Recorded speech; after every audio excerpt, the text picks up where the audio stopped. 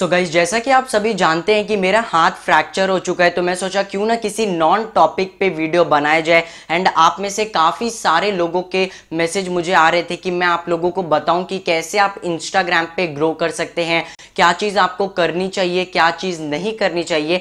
Basically आप कैसे influencer बन सकते हैं। तो आज के इस वीडियो में हम इसी टॉपिक के ऊपर बात करने वाले हैं। एंड मैं इंस्टाग्राम पिछले तीन साल से यूज़ कर रहा हूँ तो पर्टिकुलरली इस फ़ील्ड में मुझे काफ़ी नॉलेज है। तो आज आप इस वीडियो को आगे देखते रहिए। एंड बाई द वे अगर आपने मुझे अभी तक इंस्टा पे फॉलो नहीं किया है तो जल्दी से जाके फॉलो कर लीजिए। मैं भी टेन के क्रॉस करने वाला हूँ एंड अभी गिव अवेज भी चल रहे हैं। So hello viewers Adi here and your watching interesting channel called Adi K minds so so guys यहाँ पर मैं सबसे पहले एक पॉइंट के ऊपर बात करना चाहता हूँ, जिसके ऊपर उतना कोई भी ध्यान नहीं देता है कि आपको इंस्टाग्राम पे कोई फॉलो क्यों करे। तो सिर्फ़ दो ही कंडीशन में लोग आपको फॉलो करेंगे। पहला, या तो वो आपको पहले से जानते होंगे, यानी कि आप बॉलीवुड इंडस्ट्री से बिलोंग करते होंगे, आप स्पोर्ट्स इंडस्ट्री से बिलोंग करते होंगे, आप पॉलिटिशियन होंगे यूट्यूबर होंगे, यानी कि आपका जो नाम है, वो पहले से पॉपुलर होगा। तो जो पब्लिक है, वो आपके लाइफ में इंटरेस्ट रखेगी तो आपको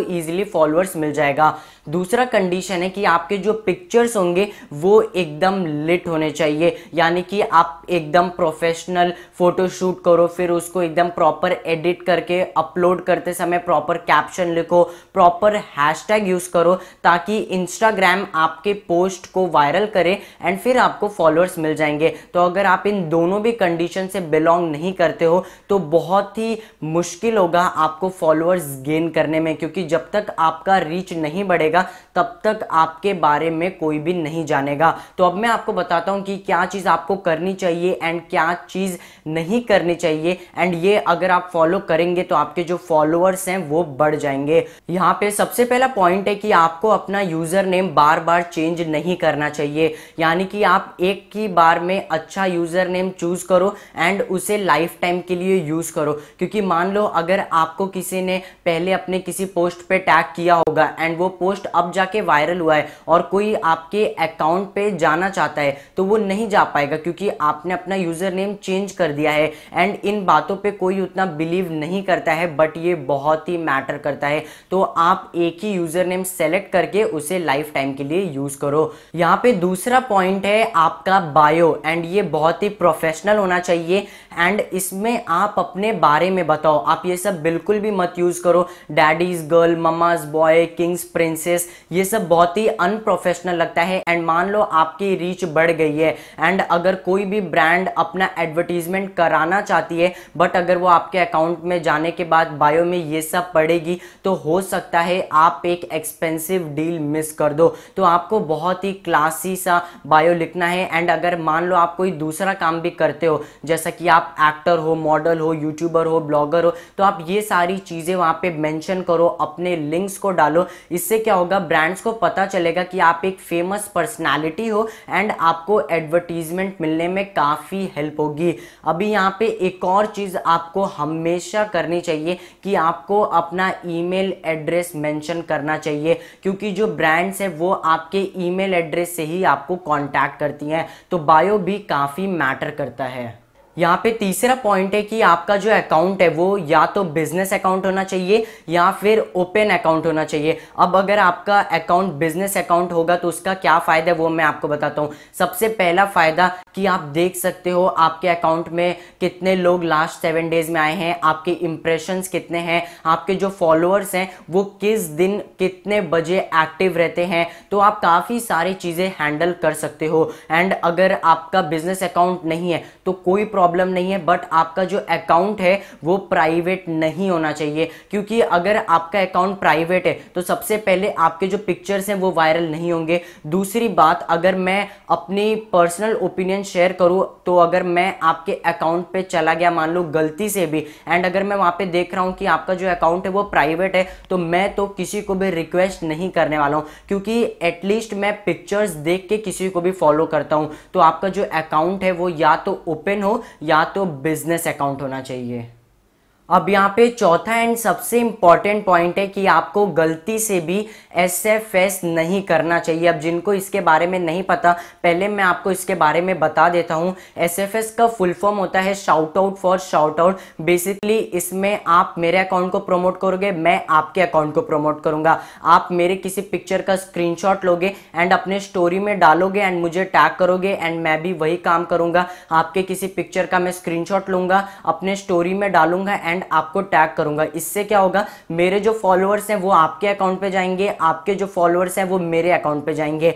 एंड इसका सबसे बड़ा एडवांटेज है कि आपके जो फॉलोअर्स हैं, वो बहुत ही बढ़ जाएँगे। मैं ऐसे बहुत सारे लोगों को जानता हूँ जो एसएफएस करके पंद्रह हज़ार फॉलोअर्स तीस हज़ार फॉलोअर्स गेन किए हैं एंड ये हंड्रेड परसेंट रियल होता है। अब इसका मैं आपको सबसे बड़ा डिसएडवांटेज बताता हूँ। आपके जितने भी फॉलोअर्स एस एफ़ एस से आएँगे, उसमें से 60 परसेंट फॉलोअर्स अनएक्टिव होंगे। यानी कि आपके फॉलोअर्स के जो नंबर है, वो तो काफ़ी बढ़ जाएँगे बट आपके पिक्चर्स पे आपको लाइक्स नहीं मिलेगा, आपके स्टोरीज को कोई नहीं देखेगा, आपके इंस्टा के वीडियो पे व्यूज़ नहीं आएगा एंड बाद में आप खुद ही रिग्रेट करोगे। मेरे ऐसे काफ़ी सारे फ्रेंड्स हैं जिनके फॉलोअर्स बीस हज़ार है बट उनके पिक्चर पे लाइक्स आता है सिर्फ़ एक हज़ार, उनके इंस्टा के वीडियो पे व्यूज़ आता है दो हज़ार, उनके इंस्टा के स्टोरी को लोग देखते हैं सिर्फ़ 1500 एंड आप भूल ही जाओ कि एस एफ़ एस करके जो आपने फॉलोअर्स गेन किया है,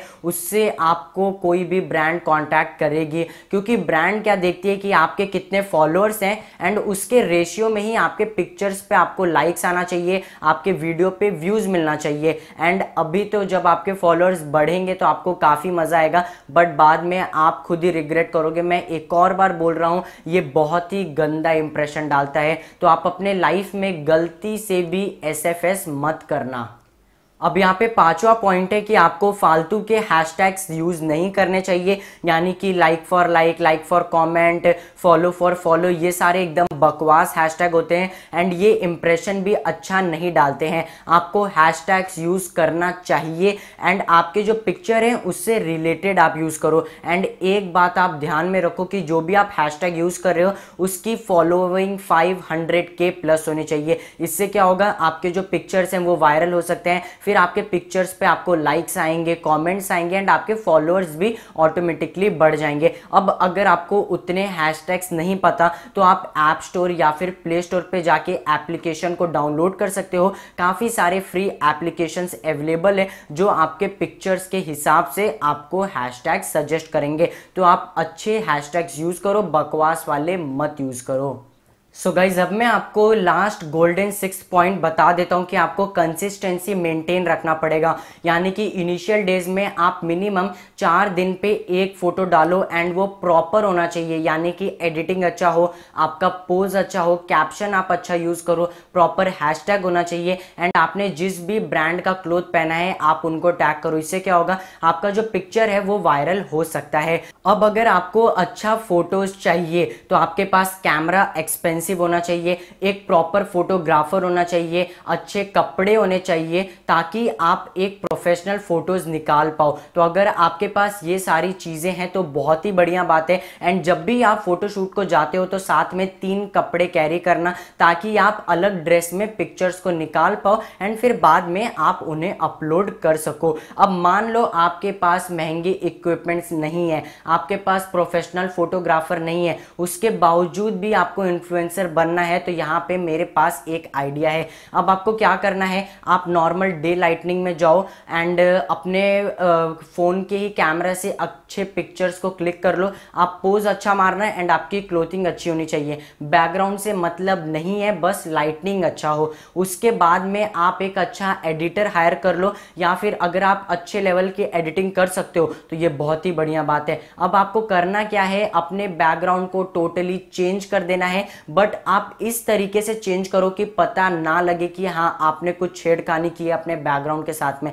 अब मैं इस टाइप के पिक्चर्स की बात कर रहा हूँ। जैसा कि आप देख सकते हो फ़ेमस यूट्यूबर एंड इन्फ्लुएंसर दानी जियन का ये पिक्चर कितना बढ़िया लग रहा है, काफ़ी प्रोफेशनल है एंड इन्होंने अपना बैकग्राउंड चेंज किया है। तो आप इस तरीके का भी काम कर सकते हो बट एडिटर अच्छा होना चाहिए एंड बिल्कुल भी पता ना चले कि आपने बैकग्राउंड चेंज किया है। सो so गाइज़ बस आज के इस वीडियो में इतना ही। आखिरी में मैं फिर से एक बार रिकॉल कर देता हूँ। आप अपने यूज़र नेम को बार बार चेंज मत करो बायो अच्छा यूज़ करो एस गलती से भी मत करना। एंड आपके जो पिक्चर की क्वालिटी है, वो अच्छी होनी चाहिए। प्रॉपर कैप्शन यूज़ करो।